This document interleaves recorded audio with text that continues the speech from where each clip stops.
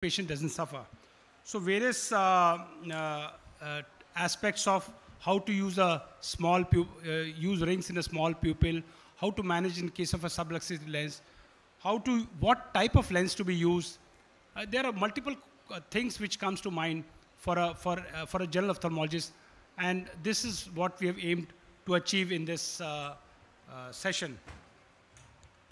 Uh, first speaker is a very eminent ophthalmologist from the armed forces, Brigadier V.K. Barnwal. He has got loads of experience in uh, doing cataract surgeries. He's done multiple. He has, he has been uh, at various centers. He's uh, uh, been head of the department at Base Hospital, and his immense uh, administrative load. He has been director of Sitapur Eye Hospital. So, notwithstanding that, He's going to speak on superior or temporal incision in cataract surgery, a case-based approach. Brigadier V.K. Barnwal, sir.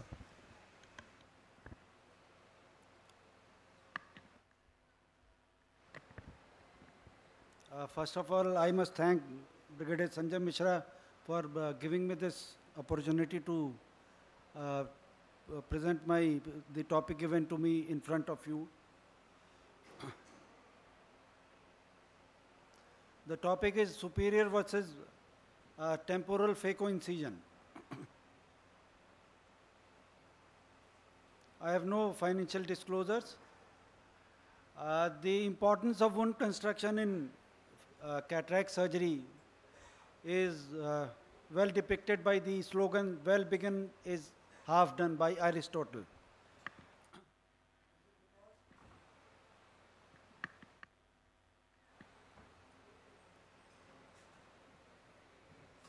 There's some problem in the. uh. Because the phaco wound construction lays down the fine foundation for subsequent steps of the phaco surgery. Uh, it influences the fluid balance in the anterior segment. then it has a, it has an immediate uh, role, important role in the post-operative period when the wound is unstable. It helps to prevent post-operative infections. It ensures smooth and faster recovery. And last but not the least, it is a refractive tool for the pre-existing astigmatism. Few things about the astigmatism. Just to recapitulate, vertical meridian is something which is vertically, that is 90 degrees plus minus 20 degrees. Then the horizontal meridian is horizontally in the horizontal axis that is 182 plus minus 20 degrees. It is the and the rule is uh, vertical the with the rule astigmatism which means the vertical meridian is uh, 0.25 diopters normally steeper than the horizontal meridian. This is uh, supposed to be due to the pressure of the eyelids on the eyeball and secondly the vertical diameter of the cornea is about 1 millimeter shorter than the horizontal one. Then there are two main types of astigmatism with the rule astigmatism in which the steeper meridian is in the vertical or the 90 degree meridian.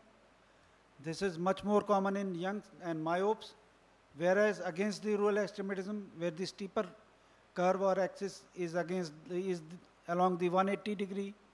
This is more common in the elderly. The exact cause is actually not known, but it is supposed to be due to change in the pressure of the eyelids over a period of time as the age advances and change in the uh, stromal collagen fibers which cause a shift from with the rule to the against the rule astigmatism.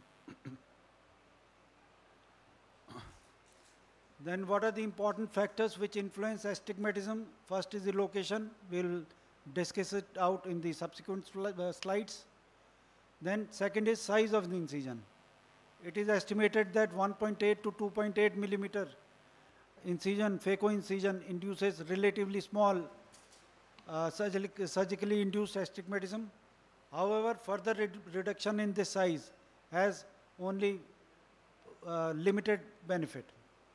Similarly, the incision, phaco incision length, it is estimated that shorter tunnel less than 1.75 millimeter causes very minimal uh, surgically induced astigmatism. Then distance from the center of the cornea as you go to, towards the periphery, the more peripheral incision causes less astigmatism. And another factor is multiplanar uh, phaco-incisions are better compared to uni and biplanar incisions as far as the astigmatism is concerned. A study by Archana Sunil Ekos et al. published in Clinical Ophthalmology in 2018 has suggested that temporal clear corneal incision induces less surgically induced astigmatism as compared to the superior incisions. Uh, the landmark study as far as astigmatism because of the phaco incision is concerned is by Jaime Tejedor and Juan Murube published in way back in May 2005. This is the goals, uh, the criteria mentioned in this study are being followed worldwide even now. We'll be discussing it within the subsequent slides. As far as the temporal corneal incisions are concerned, as we have discussed it out, it, it induces lower surgically induced astigmatism because incision is located at a more distance compared to the, from the central visual axis as compared to the superior incision. Also, it is better especially in cases where you have a prominent eyebrow and deep set eye. And it reduces existing against the rule astigmatism.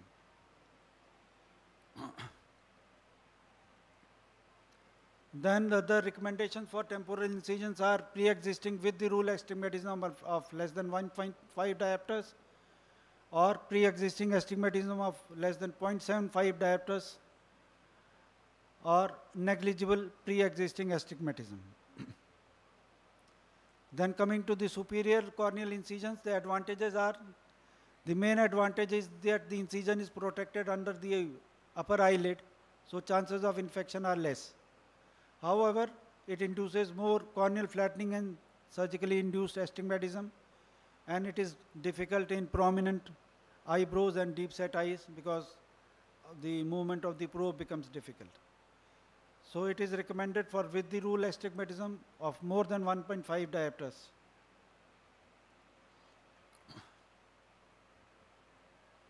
Then few considerations beyond astigmatism. A study by Hamid Gare et al. published in Journal of Ophthalmic and Vision Research has suggested that superotemporal incisions uh, they cause less uh, corneal endothelial loss, cell loss. However, the difference is not much significant. Another study by Mohammad Anbar Hatim Amar published in BMC Journal of Ophthalmology suggested that the whether it is you do a temporal incision, superior, superotemporal, it does not affect the IOP, bleb morphology or function after one year follow-up. A study by Snehal Bhaskar published in Med Pulse in 2014 has uh, the, it suggests that incision location, whether it is superior, temporal, superior temporal has no final, uh, no bearing on the final best visual acuity after a, in the long run. As far as deep set eyes and prominent eyebrows are concerned, the main challenges, as you all know, are difficult probe angulation, fluid pooling, and reduced visibility while operating. So in these cases, temporal approach is better. and in cases of pre-existing corneal opacity, the site selection depends on the location of the corneal opacity and where maximum clear cornea is available. Aim is uh, to orient the phaco probe so that tip is visible in the pupillary area, the clear area, and phaco is carried out in opacity-free area. As far as pre-existing overhanging uh, trabeculectomy bleb is concerned, as you can see, the temporal approach is much easier and better. Another concern is there is something called as negative uh, photopsias. Uh, this is uh, supposed to be uh, due to the the uh, edema at the incision site, especially seen in the temporal uh, corneal incisions. However, luckily, it dis disappears when the edema at the incision site disappears usually takes about a week, so not of much problem or significance in the long run. Uh, as far as uh, the whether we, we one has to do a superior phacoincision temporal, superior temporal, actually one should be uh, position the phaco machine, microscope and the chair and the trolley in such a way that one can uh, manipulate or whether to do from the superior uh, part or the temporal incision because the you, you have to minimize the astigmatism. So for that, uh, the surgeon also requires a positive mindset, practice, and comfort. The steps to the decrease the pre-existing astigmatism. The most important is incision should be given on the steeper axis, and if astigmatism is up to one diopters, incision uh, extension of incision by four millimeters or paired paired incision, incision on the opposite axis, both the superior and the inferior also at the same axis can correct astigmatism up to one diopters. And if you give more peripheral incisions, it causes less astigmatism. And if astigmatism is more, then you have to, use the toric IOLs. The the take-home message, the incision size or choice of the incision actually depends on the surgeon's preference based on his comfort, mindset, familiarity, equipments, and the OT size. Suppose the size of the OT is very small, you don't have place to maneuver the uh, the uh, OT trolley or the microscope or the phaco machine or the operating chair, you don't have much choice. Second is the patient anatomy, that is prominent eyebrows, deep set eyes. For this, the temporal incision is better. Then pre-existing astigmatism, pre-existing ocular disease like pterygium, corneal opacity, pannus, and previous ocular surgeries or trauma. but for a general purpose and at a uh, high volume centers, simplest is a clear corneal phacoincision along the steeper meridian. This is the easiest and the best one can do. Thank you, thank you so much for the con- Thank you, sir.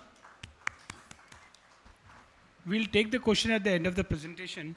Thank you so much, sir. I would like to add just one more point that just don't uh, blindly follow that you have to do a temporal or a superior incision. You have to practice in both settings, that is temporal as as superior. You should be expert so that you're not uncomfortable if you are given a choice of doing in any of these positions.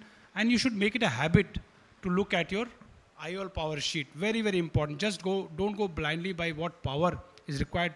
You see which, which is the steep axis and take the incision on the steep axis. Next uh, presentation is by Colonel Sandeep Gupta. He is going to speak on small pupil management to use iris capsule hooks or rings. Colonel Sandeep Gupta is a prolific uh, cataract, refractive, and uh, cornea surgeon. He has done his fellowship from, from RP Center, uh, Delhi, and he has loads of experience in cataract, refractive, and lamellar, and all types of uh, corneal surgeries. Sandeep Gupta, please. Thank you, sir, for this opportunity. There is, there is no clear-cut ans- answer to what to use in small pupil. So if you see the roadmap, the things which are available are mydriatic and NSA, NSAI drops. Now, intracameral lidocaine with phenylephrine is available, but still you have situations where these things don't work. Then, then you have the choice of viscomydriasis versus a mechanical stretching of the pupil and the, then options which are available are iris hooks and then you have pupillary expansion devices. So why we talk about small pupil? The reason is it is fairly common to have a small pupil in phacoemulsification. You have patients with PEX, the floppy iris syndrome, synechiae, old age, people with uh, on chronic miotics, they all come up with small pupils, and the problems are you have a lot of complications. Even in even in people who are trained, people with, with even lots of experience, you can have a rhexis extension. You may land up in a small capsular rhexis with the consequences. You may have iris prolapse leading to iris chafing. PCR is common, nucleus drop, and definitely you have a lot of iris handling leading to AC reaction. So that is the reason why we are interested in people with small pupil. Now, topical drops work up to a time, then you can have cohesive viscoelastics, or then you can stretch the pupil. But all these things are in to extent they work to up to extent. There is there are situations where nothing works. Then you need to have a either a iris hook or a uh, pupillary expansion devices. Now iris hooks they're ubiquitously ubiquitous everywhere. It is available very very cheap, 200 to 300 rupees for a set of iris hooks, and no extra instruments are required. Whereas most of the expansion devices you have to plan for them. Every OT doesn't have it. It is not readily available. They are relatively expensive compared to iris hooks and you need special devices, either an injector or a forceps for most of the expansion devices. Now, few, few things you have to know. You need to have corneal clarity for putting in a, a device which is a pupillary expansion device. If you have corneal opacities, definitely it will be difficult to put in a uh, or manipulate a pupil expansion device. Again, when you have shallow AC, probably both the situations don't work well. However, you may go in for a expansion device because either way, when you put in a iris hook, you make multiple incisions, there is definitely going to be wound leak. So this is again, you should note, these are the pre-op factors you have to keep in mind when you're planning either of the two things. Then what is the need for dilatation? Sometimes we have a central corneal opacity. We need to shift the focus away or the pupil away from the center. That is the place probably you will prefer a iris hook rather than a pupillary expansion device. Patients who are prone to ocular inflammation, a, a expansion device probably will be better because iris handling is definitely less. And when you have synechia or rigid pupil, a iris hook is definitely better. I'll come to it later on. So intraoperatively, if you have a rigid pupil, it is not dilating. A pupillary expansion device will not give you expansion beyond 5 mm or maybe little more than that. These are the situations where iris hook will work better. When you're having wound leak, already having a wound leak, uh, probably a expansion device will be better because iris hooks either way contribute to wound leak and uh, AC shallowing. So advantage of a iris hook is you can selectively isolate a field. I'll come in a video later on. If you have iridodialysis associated with the cataract, iris hook itself will help you hold on to the uh, uh, the loose iris. It it and if you have a subluxated lens, definitely iris hook will help because it'll it'll help you in giving capsular support also. So whenever you have traumatic cataracts, opacities, a iris hook is definitely better.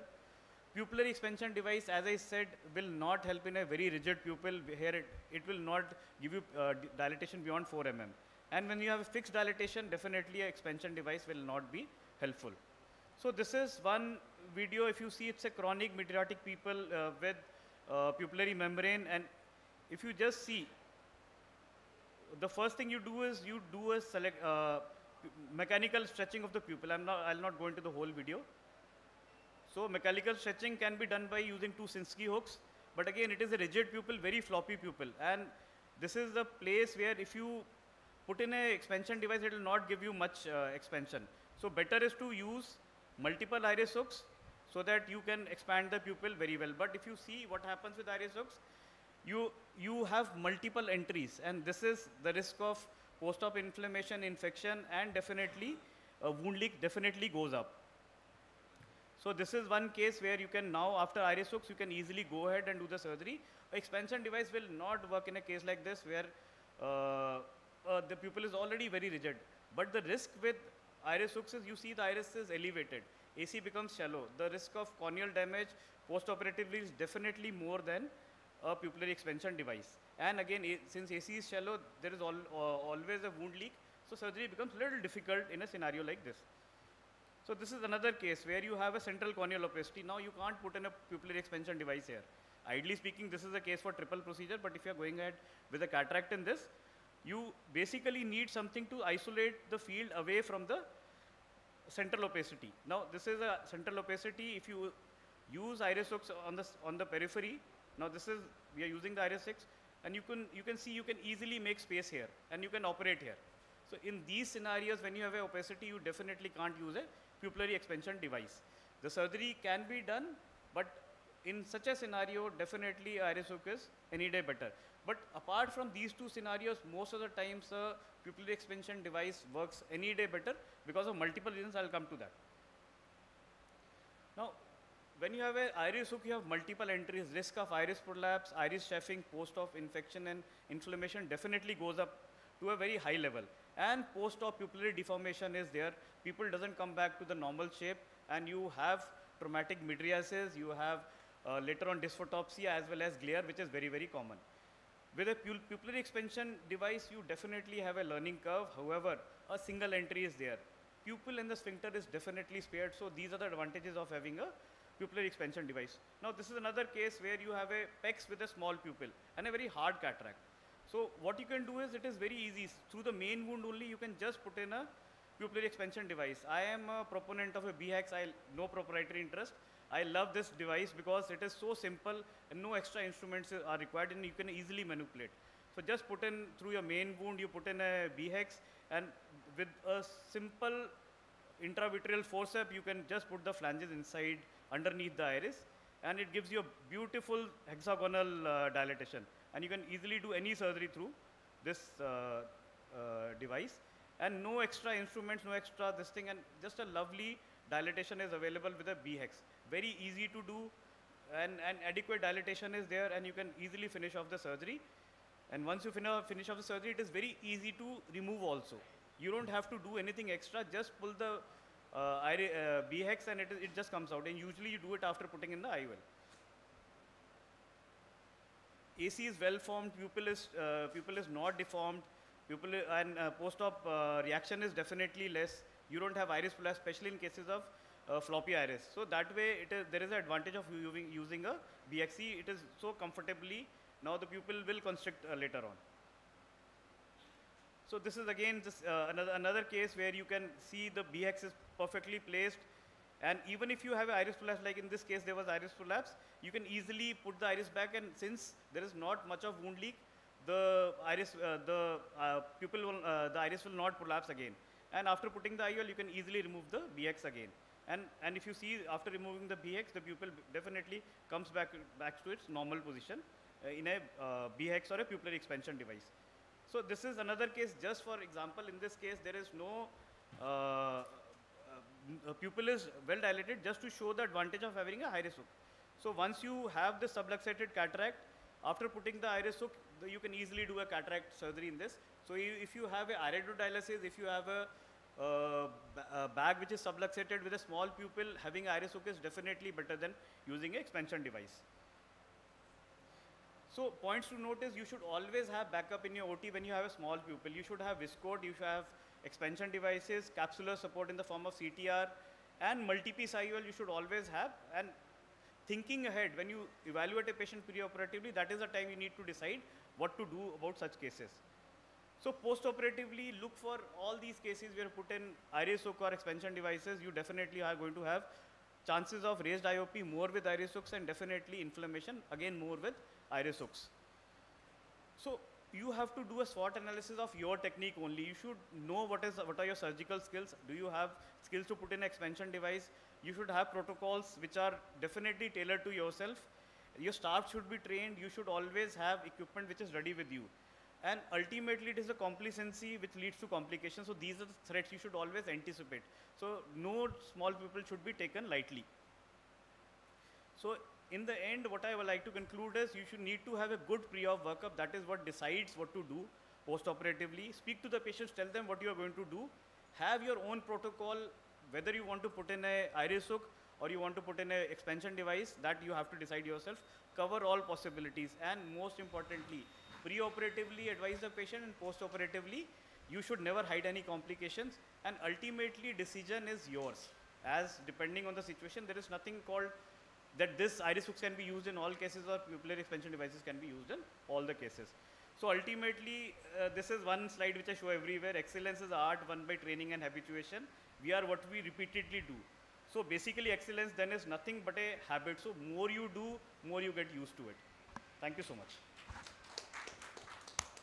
Thank you, Sandeep. It was a wonderful presentation. Uh, just uh, to add two points, is that always take a history of uh, uh, BPH in your patients, especially elderly. If you see that the pupil is not dilating preoperatively, just ask, and invariably you'll find the answer that the patient is uh, a case of a BPH and is taking the prostate medicines. Secondly, if you have a small pupil, you have to use a dye. Please use dye before using Vislon because once you use Vislon, it becomes very difficult for the capsules to stain and take out the dye. These are my two small points. Sir, you have got any points, sir? Thank you so much. Our next speaker is Kal Vijay Kumar Sharma. Kal Vijay Kumar Sharma is going to speak on cystitome or forceps in capsular access, which is better? Colonel Vijay Kumar Sharma is uh, presently professor and head of the department at AMIOS, at FMC. Pune, he's a prolific uh, cornea, refractive, and cataract surgeon. He's uh, alumnus of RP Center, AIIMS, and has many first to his credit. Uh, Vijay, without uh, wasting much time, because we've got less time, so I'll ask you to give your presentation. Thank you, sir. Thank you for the introduction. So I'll be speaking about uh, continu uh, continuous curvilinear capsulorhexis. So as all of you know that uh, uh if you get a good CCC, the outcome of your phacoemulsification surgery will be very good. So uh, there are many individuals, rather most of people, they prefer cystitome over forceps. So which one is better in which scenario? So I'll be discussing about that. So as you know that uh, continuous curvilinear capsular capsulorhexis, normally the size that we uh, want to achieve during surgery is around 5 to 5.5 millimeter. That should be roughly around 0.25 to 0.5 millimeter smaller than the optic size so that the IOL centration is very good. Now what is the basic difference between a cystitome and the forceps? In the cystitome, what you are doing is you are uh, making a flap, you are reflecting it over to the remaining capsule and in the same plane you are uh, doing the directed rhexis by uh, dragging it over the uh, remaining capsule. Whereas in forceps assisted capsular capsulorhexis, what you try to do is you lift the flap away from the surface of the anterior surface of the crystalline lens. So by then directing that force, uh, by lifting it over to the anterior chamber, that is how you try to achieve the uh, continu uh, continuous curvilinear capsular capsulorhexis. Now in both the techniques, as far as the normal uh, cases are concerned, uh, routine cases are concerned, both techniques do equally well, whether you use a cystitome or you use a forceps.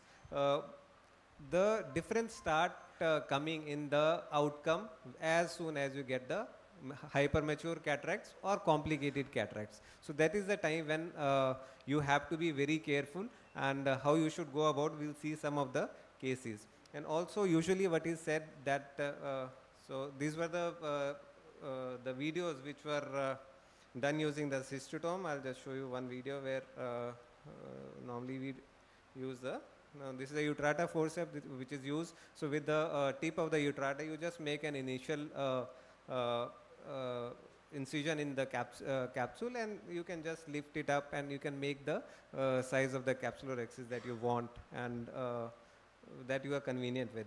So uh, now this is, uh, let's discuss some other cases. Now this is a case of hypermature cataract. Now in this, in the center, you are seeing a, there is a very thick calcified anterior uh, capsule.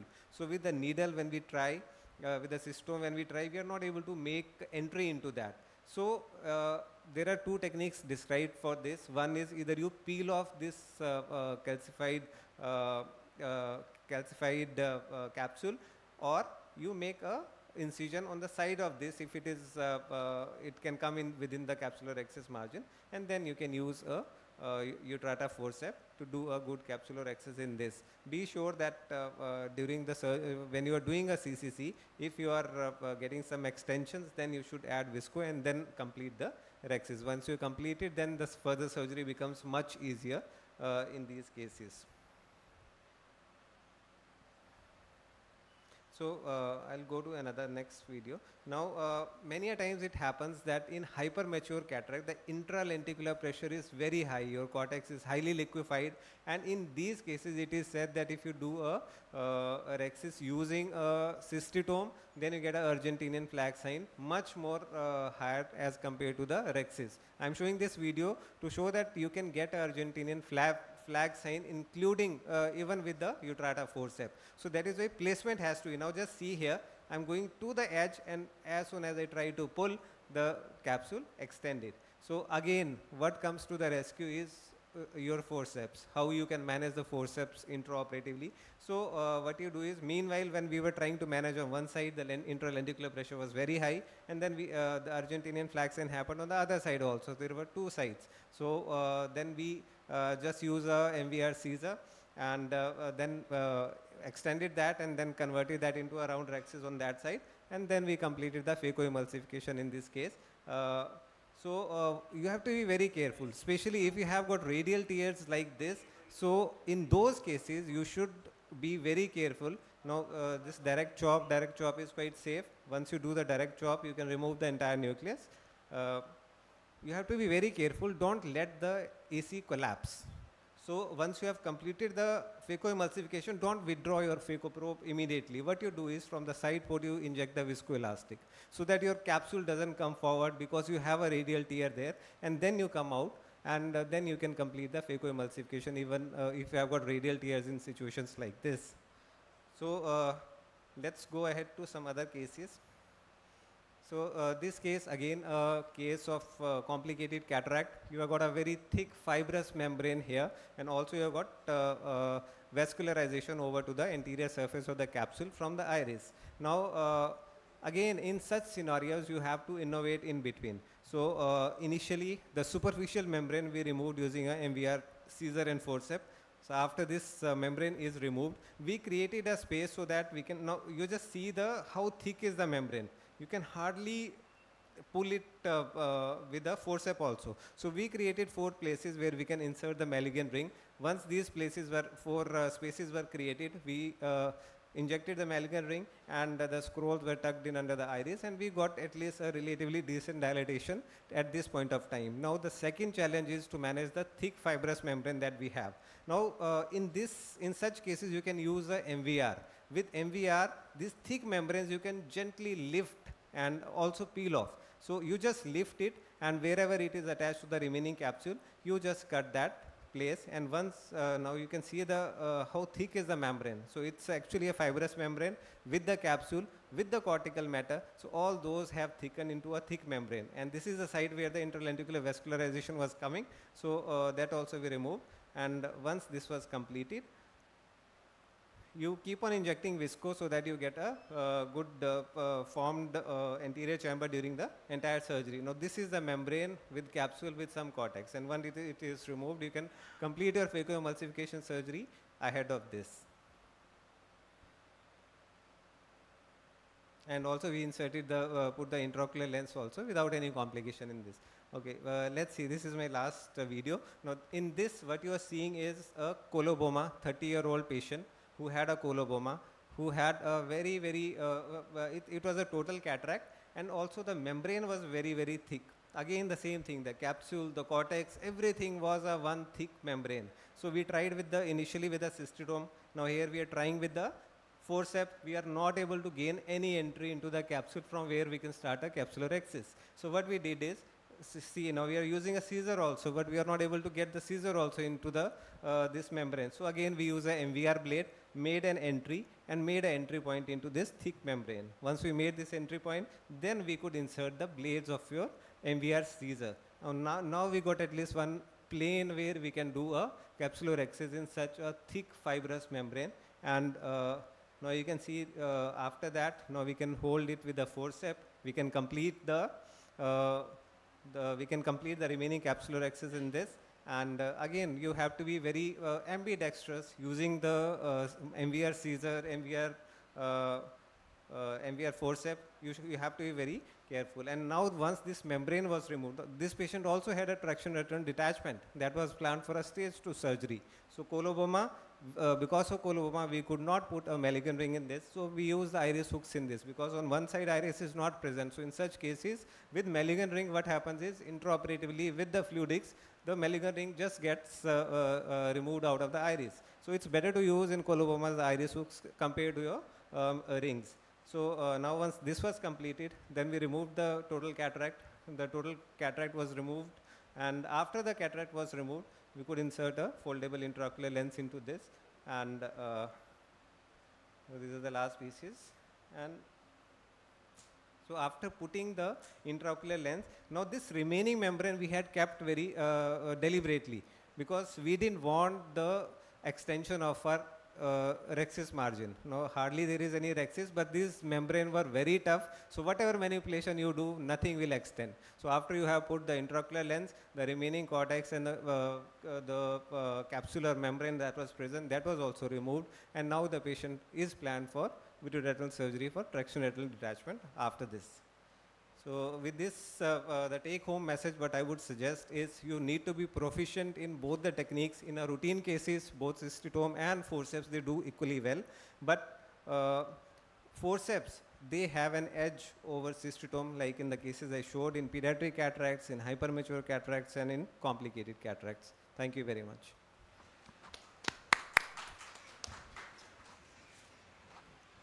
Thank you, Vijay. It was a wonderful presentation, Vijay. Seeing your videos, it was really, you get really awestruck how beautifully you've managed those complicated situations.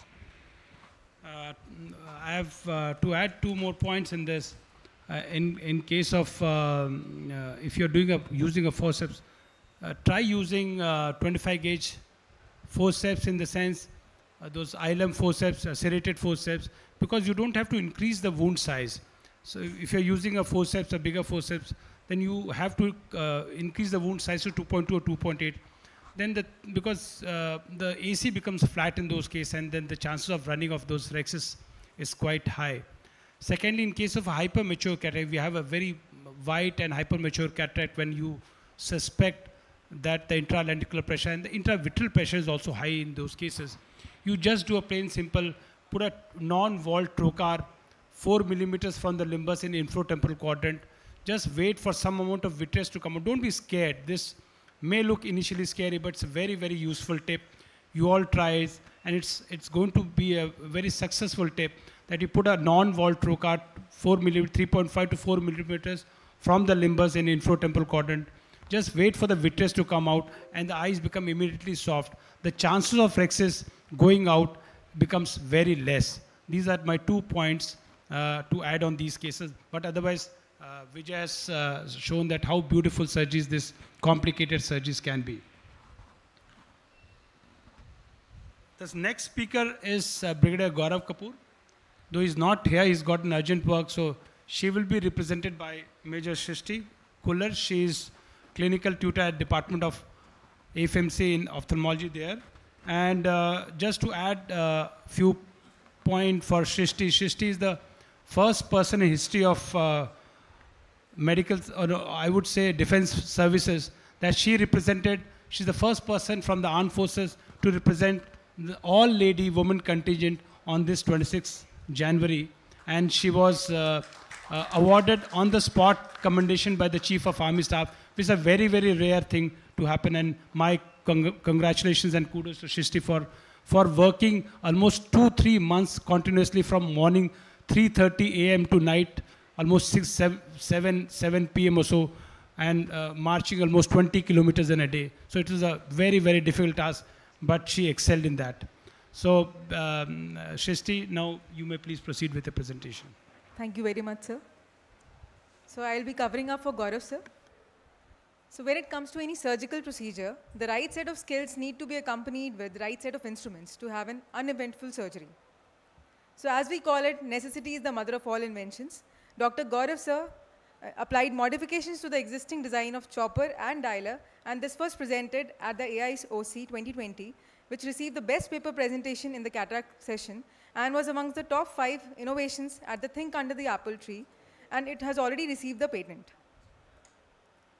So surgeon experience is the most important factor when it comes to uh, outcomes of phacoemulsification. And uh, as reported in the literature, the rate of vitreous complication ranges from 2 to 14.7%. And it is even higher with first year residents or beginners like me. Even after complete, completing the rate uh, limiting step, as I call it, that is the capsular rhexis, things can still go downhill during nucleus handling and uh, especially when it is unsupervised. So the idea of modification of this design was to increase the safety profile and to avoid complications that occur due to the instrument itself so as to achieve efficacy and efficiency of chopping. So these were the two modifications that were done in the existing design of the dialer and chopper, that is 110 degree forward angulation and 20 degree sideway angulation to increase the efficiency. So here's a small video showing that how it helped us to achieve better outcomes.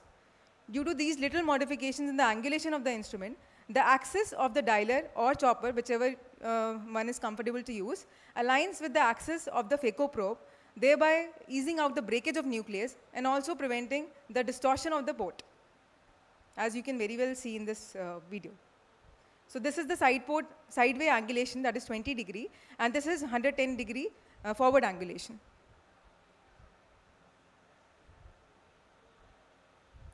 So in bargain, we achieved increased safety profile of the instrument, reduced complications, and smooth transition to the next step, that is chopping, especially in hard cataracts. And our modified dialers worked equally well as choppers up to grade 3 or 4 nucleus and increased the safety, especially in the hands of beginners. So this is a video in which dialer was, angle dialer was used for mature cataract. And you can see that minimal manipulation of the port was seen. And the axis of the dialer aligned with the axis of the phaco probe. And we could break the uh, nucleus very easily.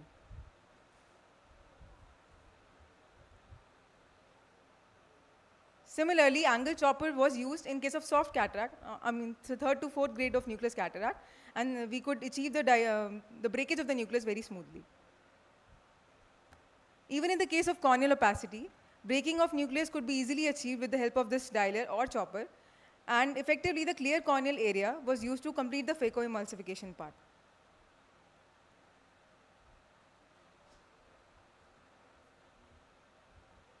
Here's, a, here's our use of this instrument in soft cataract cases.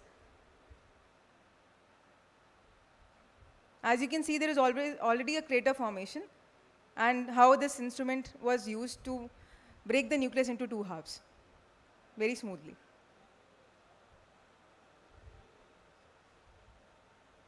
And this is our last case, a hard cataract.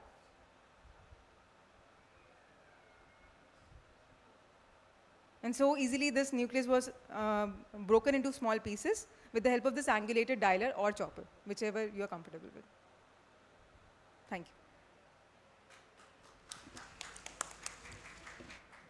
Uh, thank you, Major Srishti, for uh, making it uh, quite simple whether to use a dialer or chopper. Now I welcome uh, Colonel Vijay Sharma, HOD Ophthalmology at FMC Pune, to present the next topic, bag fixation versus lensectomy in subluxated cataract.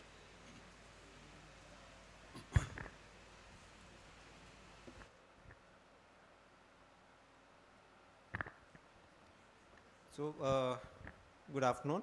Uh, bag fixation versus lensectomy. Now, uh, as we know that uh, uh, zonular dehiscence can happen in uh, trauma, it can happen during complicated cataract surgery, it can happen in ectopia lentis, as in Marfan syndrome and other syndromes, and also pseudoexfoliation syndrome. So, how do you manage such cases of zonular dehiscence? You have got so, so many options uh, when you do a nucleotomy techniques, at that time you should use a capsular hooks rather than iris hooks and you can uh, hold on to the side where there is a zonular dehiscence. Uh, then in cases there is up to 90 degree or 3 clock hour of dehiscence, you can use a uh, normal CTR uh, otherwise, if uh, dehiscence is more than that, you can use a single eyelet or a double eyelet Cionni ring. Also, you have got capsular uh, segments which you can use nowadays. So, all the, these options are available. Now, uh, I'll just show a few, uh, just two videos uh, related to this. Now, if you see this, this is a post-traumatic cataract. There is a capsular, posterior capsular break was there and that had healed. Now, uh, you have to go very slowly in such case because you may have uh, dehiscence in such cases whenever you're doing the surgery or onion peel uh, rhexis was done, first a small and then larger. And once you uh, uh, have completed the rhexis, as you can see, in uh, you just emulsify the nucleus. And once you have completed the, so you just see it here now. So it is very important to note. Now uh, just note uh, inferiorly at uh, 4 and 5 o'clock, you can see that there is a dehiscence. Dehiscence is around uh, 3 clock hours. So in such situation, how do you manage intraoperatively? So now you just inject viscoelastics so that the, all the bag uh, that goes into the place. And uh, once you have injected viscoelastic, then you take the CTR, Uh, you inject the CTR. Again, uh, if you have a preloaded CTR, that is uh, much better to inject in a unloaded CTR. Now I normally use a two dialer technique. Many people prefer to use a uh, forceps rather than a two dialer technique. So in the two dialer technique, uh, remember that when you take it in, you have to take it inside the capsular uh, edge. Don't leave it just in the anterior chamber because otherwise, otherwise it will be anterior to that. And uh, once we have put the uh, CTR in place, when your uh, uh, is uh, taken care of, then you can put an IL. Uh, now the uh, posterior capsular tear which is healed now that had maintained luckily during the entire surgery. It didn't open up. Otherwise we, we could have uh, uh, we might have had to implant a uh, maybe a multi-piece in the sulcus. So this is one. And the second case is about say this is about Marfan syndrome with the uh, zonular dehiscence, significant zonular dehiscence, which is around 8 clock hours. Uh, so how do you manage such cases? Such cases, uh, our preferred technique is uh, doing a intralenticular aspiration uh, followed by glued IOL. This was a 10-year-old child with a Marfan syndrome. So in this, I'll just go step by step. You just make the uh, first you make the flaps. So in the flaps, uh, uh, what our preferred technique is while you are making the flap, you make the flap much ahead, uh, uh, you make a pocket also along with the flap. So you can see the yellow is the flap and there is a pocket, blue color. So in the blue color uh, flap, what you can do is when you have to implant the uh, glued IOL, you can put your uh, haptics into that pocket.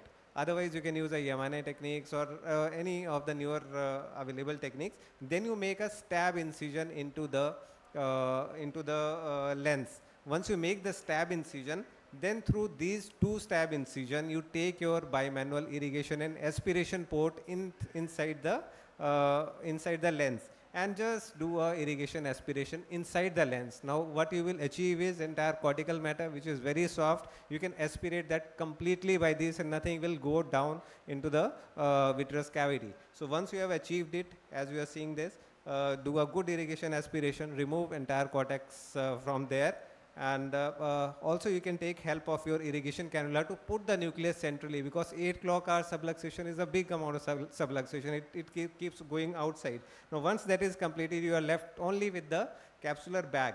And now just take, eat away the capsular bag using a cutter. It comes out very easily. Now you, you have got a very clean uh, uh, removal of the uh, subluxated lens. And uh, this is the time when you make a 3.2 millimeter incision and after you have made the 3.2 millimeter incision, then you can uh, insert your multi-piece IOL. Uh, so uh, the technique is same. Uh, I'll not uh, I'll not discuss it in detail, but the leading haptic, you hold it with the glued IOL forceps from the side, and similarly from the other side. Once once you are uh, you can exercising the trailing haptic as well. Once this is out, that is the time you can put a single suture at the main incision site and uh, uh, you just tuck in those haptics into the pockets that you have created. So the, your glued IOL is never under tension in this and uh, uh, if you use a 26 gauge needle, uh, there may be some amount of tilt in the IOL but uh, usually you do not get any tilt in this and then you just put a glued glue and for the flap, scleral flap followed by the conjunctival flap and you just close it. So to summarize, if you've got a less than 90 degree subluxation. In that case, uh, less than 90 degrees zonular dehiscence, in that case you can use a CTR or a capsular segments. More than 90 degree, you can use a Cionni, singular or double eyelid Cionni and a capsular segments for ectopia lentis because it's a progressive zonular weakening because the pathology is there. So in such cases where there is a progressive pathology or zonular weakening, in those cases you can go ahead with the intralenticular aspiration and put a glued IOL in such cases. Thank you very much. Just one, uh, just one comment. Like as uh, uh, Vijay just suggested, in extreme scenarios, it is better to take out the lens and put in a multi, uh, sorry, glued IOL. That is one. And and second thing is, if you are starting, so it's easier to again do a lensectomy and do a glued IOL rather than going and fixing, trying to fix the back. It's very difficult to fix a back. So until you're very conversant with fixing a back with a Cionnis, it is much easier to do a lensectomy and doing a glued IOL. So if somebody has to put in some effort in learning a surgery, probably the first thing you should learn is a glued IOL. That saves your day any day. Cionnis defi definitely again fixation is it becomes difficult. Uh, thank you, Colonel Vijay. Now I, uh, now I invite Brigadier Sanjay Kumar Mishra HOD ophthalmology at Army Hospital, R&R, Delhi. He, uh, for uh, the listeners, he, is the most decorated Armed Forces Medical Services officer. He is a graduate and postgraduate of AFMC and has done his fellowship in vitreoretinal surgery at RP, uh, RP Center. He is credited with operating uh, many of the uh, presidents of India. And to be uh, very frank, he is a complete ophthalmologist. He is well versed with all the surgeries of cataract, refractive surgeries, posterior segment surgeries, oculoplasty, vitreoretinal surgery, you name a surgery and he is an expert of this. Brigadier Sanjay Mishra, please. Thank you, sir, for the generous word. First of all, uh, warm greetings from Army Hospital R&R. And uh, as I always say that it's a pleasure to be a retina surgeon because it takes away all your fear for a cataract surgery. So you can be a fearless surgeon. So I shall, I'll be presenting on uh, multifocal versus monofocal. We, this is the commonest doubt in a mind of a practitioner that what lens, which lens, when to use, when not to use. It's very important in a surgery, we, what, what you're supposed to do and what you're not supposed to do. It's very, very important. You have to be very, very clear in your mind. I don't have any financial disclosure. We all know these are the basic, uh, uh, you know, history. We all know that how the intraocular lenses have evolved over years. And what are the characteristics of uh, IOL which has uh, been evolved from squ- square edge to round edge to single piece to three piece, spheric, aspheric, biconvex, meniscus, plano- plano-convex, acrylic, PMMA, Collamer, and silicon. The optical principle of a non-accommodative IOL, it's basic on two principles, that's the refractive and the diffractive principle. So in the refractive uh, uh, non-accommodative IOLs, we have two types, that is bullseye lens, where there is a concentric central ring, which is which is uh, for the near and which is surrounded by the distant vision. And endless, this is the three to five rings. Uh, the center one is for the distance. Here, the center one is for the distance, surrounded by the near and again surrounded by the distant vision. The diffractive uh, uh, principal IOLs, they have a convex uh, front anterior surface, which is for the distance, and the diffractive posterior surface, which is given the additional power for the intermediate and the reading. So we have this monofocal lenses where the complete light is used, which is originating from the infinity, and the diffractive principle where the light is broken into various parts where it is focused for the near as well as it is gradually dispersing for the intermediate region. So we have uh, multiple studies which have uh, concluded from the monofocal and the multifocal. The advantages of the monofocal lens that it gives you uncorrected distal visual activity, which is very good. It preserves your contrast, and there are no glares or dysphotopsias.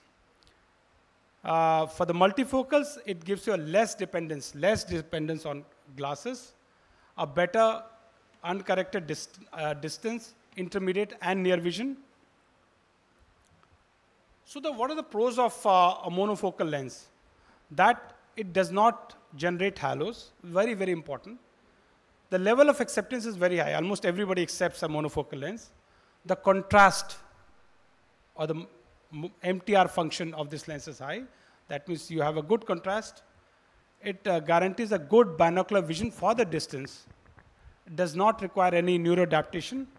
And for most of the activities, patient can uh, see without glasses, but will definitely require glasses for intermediate and near vision. What are the con for uh, multifocal? That all the vision, if you see the distance, intermediate, and near vision, may not be as sharp as compared to monofocal. But you do get everything, but slightly lesser than the monofocal. You're not very sure of your outcome. For this, you have to be 100% certain that your IOL power correction, everything what you've taken to think is perfectly on. You tend to get ghost images. The contrast is definitely on the lower side. It requires neuroadaptation, and if not centered well, can cause a monocular diplopia. So we have seen that as the, as the surgical techniques, as the machines have advanced, so is the requirement and the expectations of your patients. You now have a very, very demanding patients, and uh, they want everything, whatever best is possible, they want everything. And uh, to cater for that, the quality of lenses have also gone a huge revolution. So uh, the advances which we have seen from a multifocal lens, which earlier generation multifocal lens was not exactly multifocal, but it was a bifocal lens, where it was fixed for the distance and the near. There was no intermediate vision. And then came the trifocal, which had three points of fixation. Then came the EDOF lenses, the extended depth of uh, focus, where it delivers a depth of focus for intermediate and a functional near. Uh, it has both diffractive and non-diffractive lenses, it causes slight halos and glares. For example, like uh, uh, Symphony, Tecnis Symphony, Vivity, and LuxSmart. The monofocal plus lenses, this is not what is the vogue in monofocal plus lenses. It is a refractive monofocal lens with a modified optic to offer intermediate vision. The example is Tecnis Eyhance. And the continuous range of vision, that means it is hybrid kind of, it is both the EDOF as well as monofocal lens so that it, you get a continuous range of vision. For example, Tecnis synergy lenses. So what is a monofocal lens? Monofocal plus lens is which gives you, a, in addition to a quality distant vision, it gives you an enhanced intermediate vision for patient to do daily tasks with less dependency on glasses. We have seen uh, the near vision, what we have calculated is for 40 centimeters from eye, intermediate at 66, and distance at 4 meters. Uh, the criteria for uh, intermediate vision is that uh, the EDOF lenses requires to implant to have a monoocular distance uncorrected intermediate vision of 20 by 32, that is 612, in more than 50% of cases. So how does it differ? How, do, how does the monofocal lens differ from a true monofocal lens? The, if you see the, the characteristics of a, of a monofocal lens is almost same as a monofocal lens. Where it differs is the design and material that it uses a higher order A sphere. So uh, when you demystify the optics of a monofocal lens, it could be a spherical aberration based optic design or a aspheric optic design, zonal or non-diffractive design, and higher order aspheric design.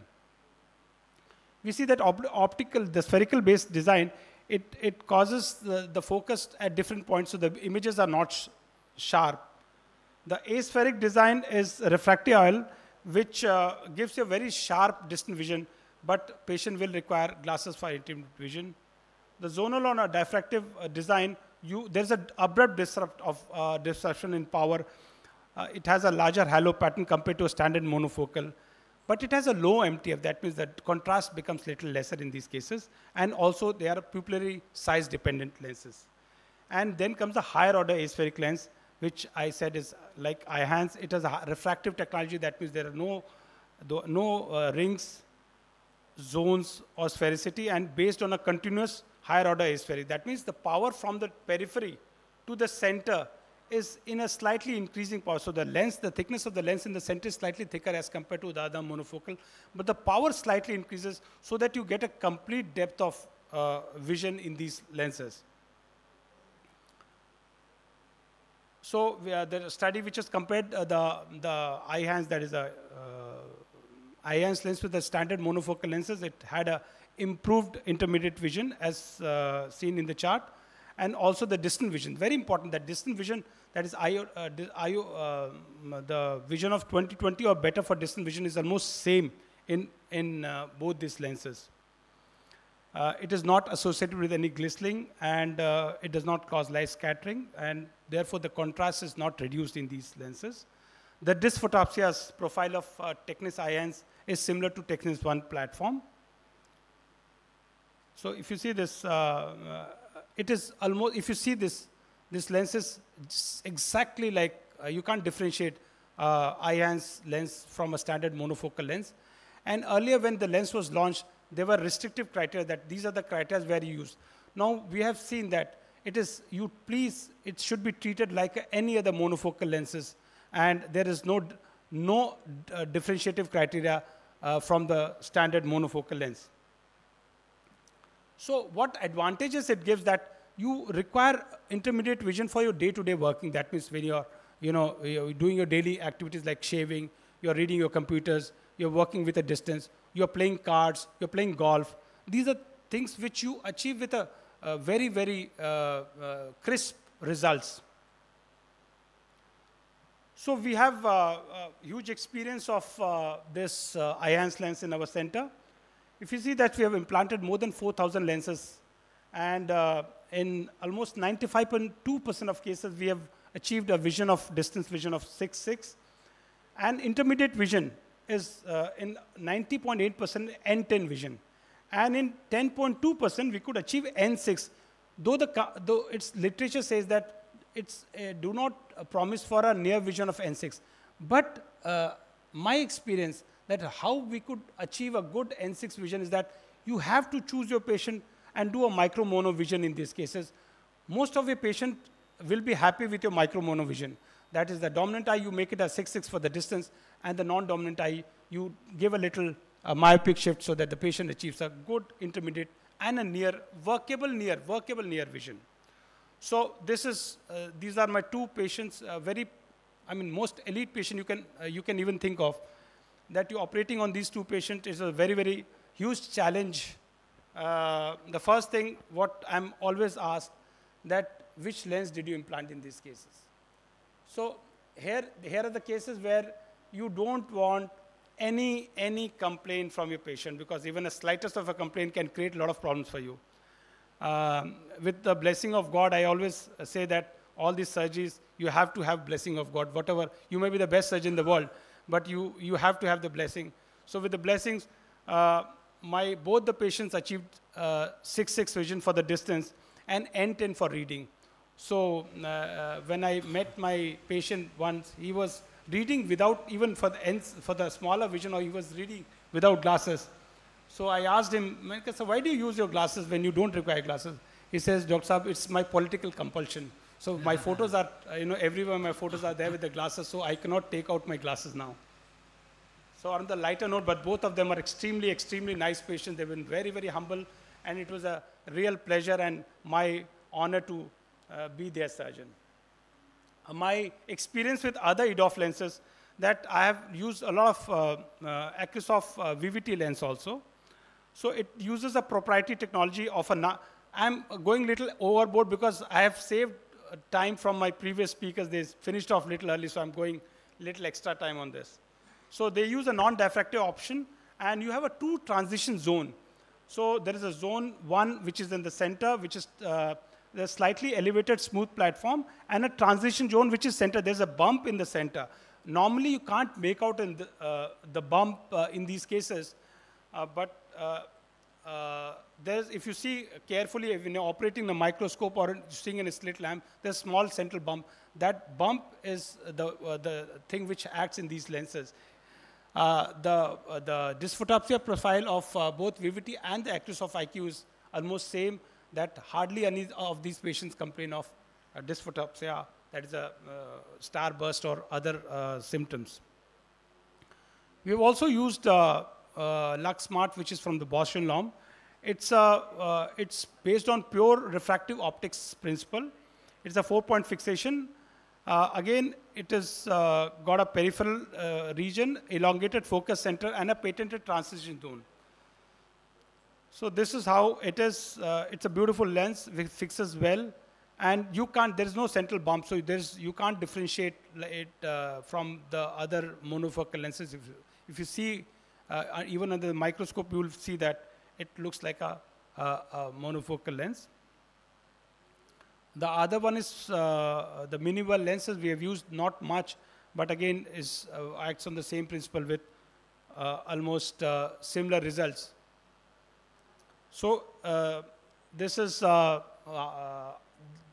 last category is that hybrid multifocal and EDOF lenses. That means it's got a combination of both uh, the EDOF lenses and the trifocality so that the patient gets a much better as compared to the other EDOF lenses. The other EDOF lenses like Symphony and all, uh, the, the, uh, the reading is little compromised. So again, you have to do a micro vision. And, but these lenses like Synergy gives you a very a bet, better uh, reading than the other uh, uh, EDOF lenses. So in conclusion, the intermediate vision is, the, is need of an R in the current lifestyle. Photic phenomena is similar to standard monofocal can be a good choice. Minimize ocular wavefront aberration and optimize retinal image quality.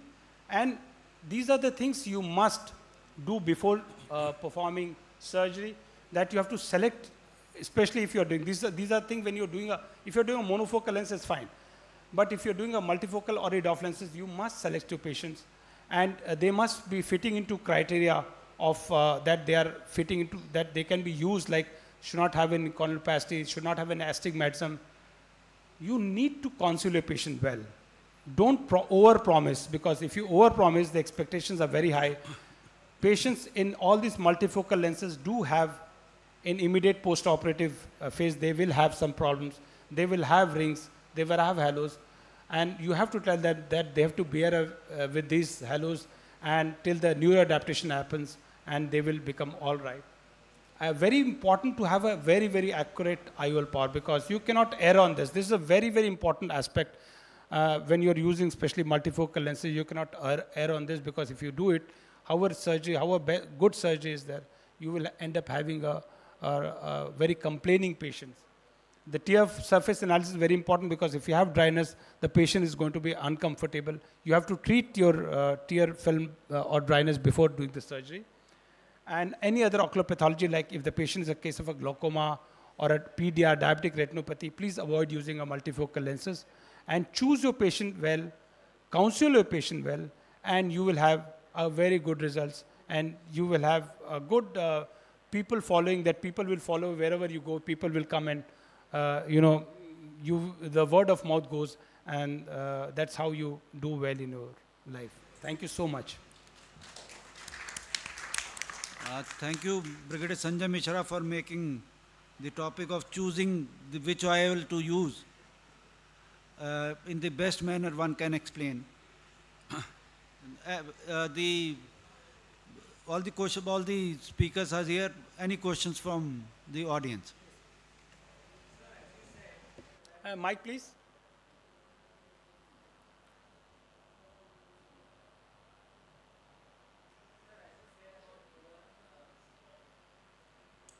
Quite in favor of, or I, I, Mike, Mike, please. Mike, please. I Huh. felt that uh, from your, uh, you are very happy with the monofocal plus, if I am not mistaken. How does a monofocal plus near vision compare to a, let's say, a Symphony near vision? So as I said, a monofocal lens, like if you call it as a Eyhance lens, please do not promise your patient N6. It is not a lens which is going to give you N6. So always say that you will require glasses. But all these, remember these patients, never treat this patient as a monofocal lens in the sense, if you give this patient an addition of 2.5 for reading, he's going to be a very, very unhappy patient because the reading will become almost close to the eye. So the, all these patients, because of the technology, the reading is, you do not uh, uh, give a uh, addition of more than 1.5. So if you do a little micro monovision, that if you go little myopic in the other eye, no, the, the, the, the literature of uh, these lenses says that you achieve uh, emmetropia in both eyes. But I have seen with more than five, 4,000, 5,000 lenses, you can go for a, clearly you can go for a micro monovision and you can have N8 vision. Still you will not get an N6 vision. But how does it compare with a Vivity or I agree? No, no, definitely Vivity will have a better reading vision. Yeah, 100%. Okay, because even Vivity, we do not promise N6 for that. We probably Exactly. So that's what I said. It will have a better reading. That's the near vision will be much better as compared to Eyhance because it is projected as a EDOF. It's a true EDOF lens. So there's an there's a bump which I said in the center that that uses that technology for give you a workable near vision. So it is not said near vision, but it is uh, literature says a workable near vision. So if you have a uh, a 6-6 and an N8 in one, one eye, you can go for a 6-9 and N6 for the other eye. So when the patient is uh, uh, reading binocularly, he's with a little increase in the, ask the patient to go little, increase the distance. So at a little uh, more uh, distance for reading, he can most of the time do a, especially like laptop or even mobile work comfortably. But if you say that you go for uh, reading newspaper, he may have little problem reading newspapers. I fully agree. I also tell them to increase the illumination. Yes, that's very important to tell the patient to increase your light so that more light is available to the, all your patients. Because all these lenses, the contrast goes down as compared to the normal monofocal lenses. The contrast is slightly lesser. So you have to uh, tell the patient to increase little, uh, little brightness so the patient will become more comfortable. And one last comment. If I used to tell them that you may read. Now I tell them you will not read without glasses because I have had patients when you have told them that you have told me you may read without glasses, I cannot. The reverse is when I have told them you will not eat and they say, I say, oh wow, then your God has given you very good eyes. This, this is how you convince your patient and win over your patients.